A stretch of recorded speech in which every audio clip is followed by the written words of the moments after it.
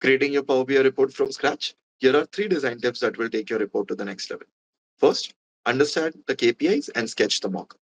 It is always helpful to open MS Paint and just list down the list of KPIs and decide on which section of the page you will place the KPIs. So I'll start off by first creating the brand logo.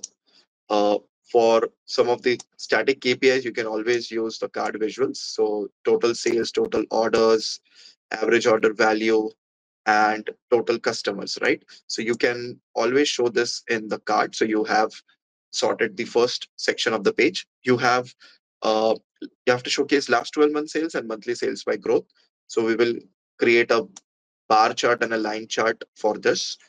So the middle section of the page we will utilize to create a bar chart.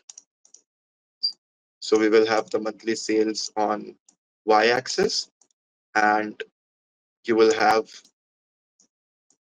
the name of the months here. So this is Jan, this is Feb, March, and so on. And you also need to show the growth.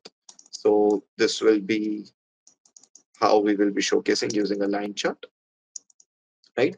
So now once you have uh, addressed those, I think we are left with two. So I'll just divide the uh, screen into two parts. So I have my top five products here and I have my bottom five products here. So similarly, you can uh, create again a vertical chart for this. So let's say this will be my product one, this will be my product two, and so on. And similarly, this will be my product one, and this will be my product two, right? So second stage is to go to Power BI service and auto-generate a report. Uh, this is really helpful if you have your semantic model ready. You can go to Power BI service and auto-create a report. Uh, you can always first pre-select your data so that it will uh, create a better report. If not, if you create, so choose the entire semantic model, uh, it is going to, you know, not generate it very efficiently. But the good thing is that all your visuals uh, will be aligned, so you can directly leverage this report. Uh, third one is that you can always go to Power BI community and download the themes, right? So you can go to this community and you can always look at uh, you know these particular themes uh, which you can download right?